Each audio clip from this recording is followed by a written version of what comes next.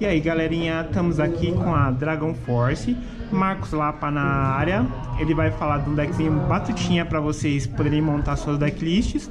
Não esquece de seguir a Dragon Force no, no Instagram, tá o link aqui embaixo na descrição do canal e dá uma força pra gente. Qual que é a chance de uma marula aí? Fala aí galera, beleza? É, vou falar rapidinho aqui uh, de um deck que, eu, que a gente acha, a gente tem discutido um pouquinho até sobre ele, uh, que ele tá aparecendo bastante, já, inclusive já é tier 1, né?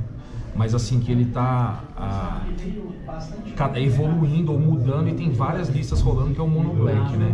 Mono, Mono Black Mid Range ou control, enfim, varia justamente por, essa, essa, variação nas listas.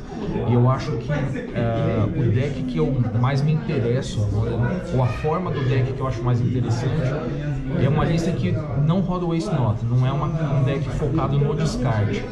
É, apesar de, de, de, acreditar que tipo, tem que ter 4 Cise, é legal rodar Liliana no deck, eu acho que, e, e acho que o Ace Not te permite ter é, uma geração de valor gigante.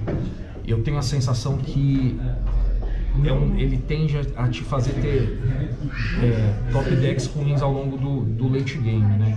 Então se o, se você, se o deck não conseguir é, fechar o jogo rapidamente, ou não rapidamente, mas estend, o, oponente conseguir estender o jogo um pouco mais, você vai acabar tendo top decks que são potencialmente são fracos, né? Então, assim, eu, eu, gosto mais dessa, dessa lista que eu tava vendo, inclusive, que não tem o Snot. Roda 4 Graveyard Trespasser, que eu acho que é fundamental também no Mono Black. Roda um Aquazotes, roda 3 Shieldred. É, tem Preacher, 4 Preacher of the Schism, Schism, né?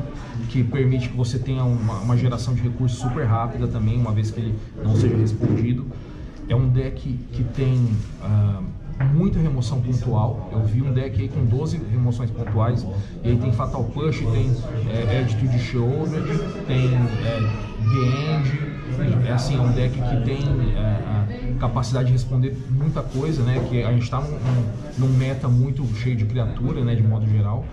E também roda evento de extinção no deck, então assim, é um deck mega preparado contra criaturas. Tem criaturas que são altamente relevantes e roda uma Liliana, inclusive. Então, assim, para mim é um. Provavelmente é um dos decks que eu acho que vale a pena prestar atenção, ainda mais. É... Esse, esse Mono Black ele, ele tá muito interessante. É um deck que eu prestaria muita atenção no meta hoje, é, por ser um deck que tem jogo contra praticamente qualquer arquétipo, isso é interessante. Ele vai jogar bem contra água, ele vai jogar bem contra é, mid-range, contra controle e contra combo. Então, assim, é, é um deck que, que, que, não tem nenhuma partida que, é alta, é, que tipo, automaticamente ele vai perder. Eu acredito que não seja um deck desse, desse tipo. Uh, e que eu acho que tem interesse até da equipe de repente montar um desse para jogar, porque é um deck bem, bem interessante. Então é, é um dos decks que eu que tateou um momento e que eu prestaria